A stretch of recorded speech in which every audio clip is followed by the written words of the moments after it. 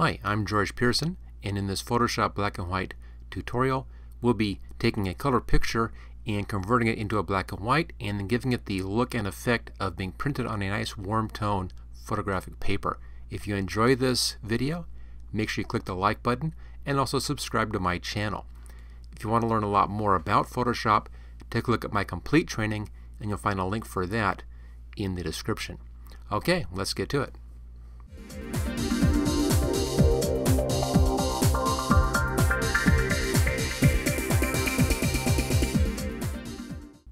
We'll be starting off this black and white conversion in Photoshop from a regular color image. I'm just going to close this one down. There we go. And recent, and there we are. Now there's a link for this photograph in the description. We'll be converting this to black and white using a gradient map. It's a great way to convert to black and white because you have control over your lights and your darks and then you can colorize that image and give it that look of a warm tone paper. So we'll go up here to Layer and come down to New Adjustment Layer right here. And then way down towards the bottom we have the gradient map. Now we don't need to worry here about using the previous layer or not since we only have one layer. That's our background. So it doesn't matter what you have checked on that one. Checked or not doesn't matter. Same thing. Now what this does is it takes the foreground color and the background color and then maps the values of the image onto those colors. Now if you're colors are at their default settings, black to white, the blacks will be mapped to black, or the darkest parts of the picture will be mapped to black, and the lightest parts of the picture will be mapped to white. This is a real nice way, just as you know, first step here, to really extend the tonal values in your image so that they go clear out to black and clear out to white. Kind of guarantees that.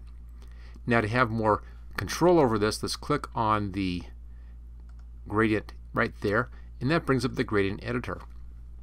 And here we have two sets of stops, top stops and bottom stops.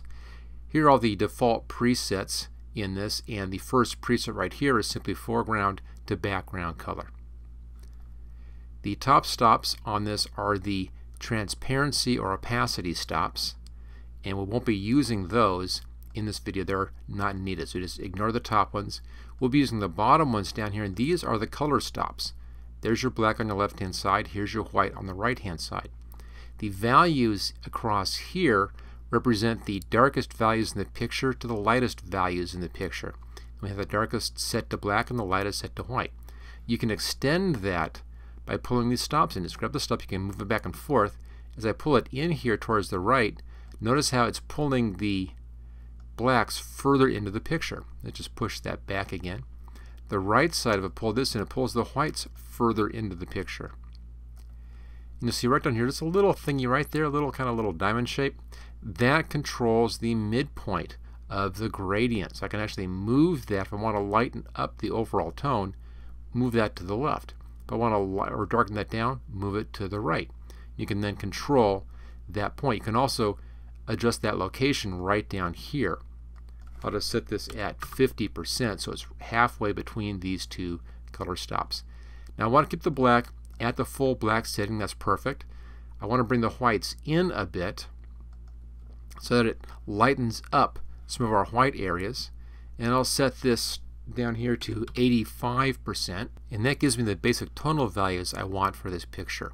Now I need to put in the color values. If you've ever worked in an actual dark room you work with a nice warm tone paper, the paper itself has a warm tone to it and the blacks have a lot of brown in them. So we'll do that with a couple of new stops. You can make a new stop here by just clicking underneath the line right there gives you a new stop. Now this is white, so I want to change this color. This is going to be our brown color.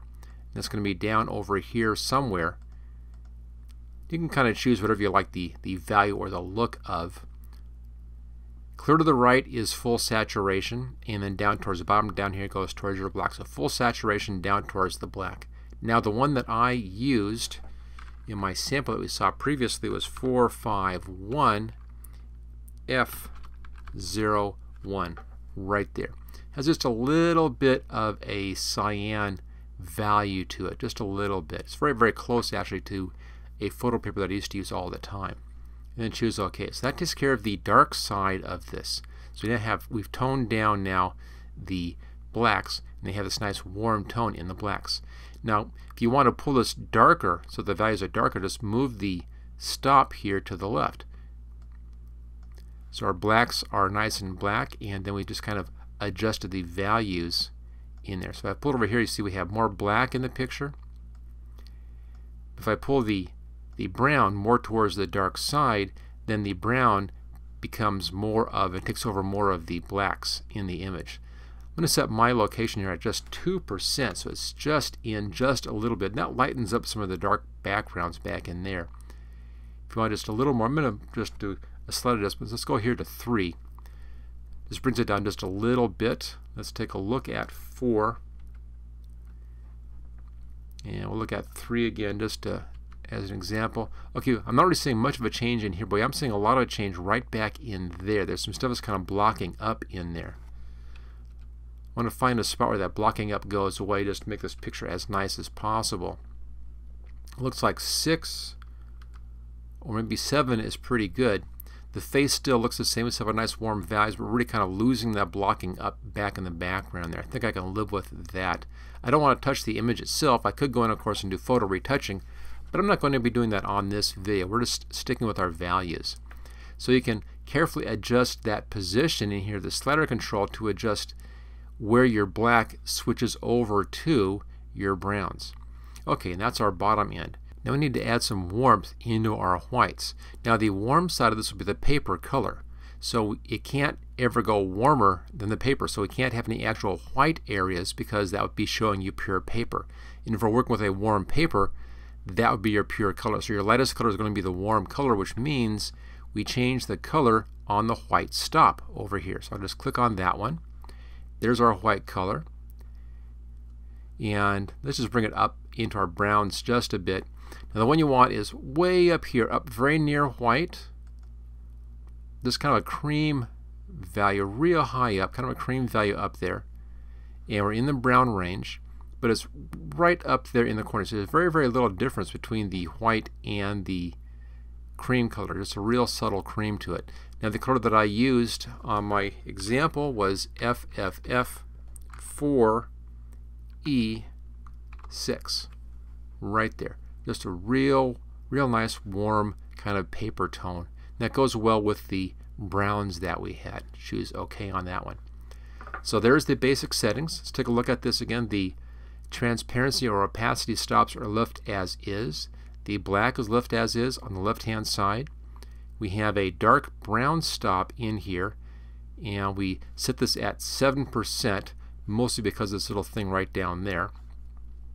The color for this one 451F01 and then we have our white stop at 85% for the location and the color on that one is FFF4E6 and there you go. That's how you can use the gradient map to first convert a color image into a black and white very easily with a lot of control and then secondly we can colorize that to give it the effect of having been printed as a black and white onto a warm tone paper. So there it is. There's the Photoshop black and white gradient map warm tone paper technique. Thank you for watching my video. I hope you found it useful. If you like this video, click on the like button below to let others know. You can click the subscribe button so you don't miss any of my videos in the future. I'm frequently uploading new training videos. Don't forget to check out my website at howtogurus.com.